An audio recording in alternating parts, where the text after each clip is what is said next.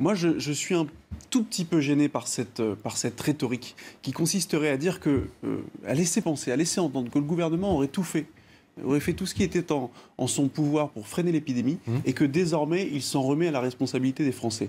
Oui, les Français doivent être responsables comme ils le sont déjà depuis le début de la crise, mmh. mais euh, laisser. C'est pas habile? Vous trouvez pas que c'est habile? C'est maladroit. C'est maladroit parce que ça laisse sous-entendre que si. alors nous sommes sur une ligne de crête.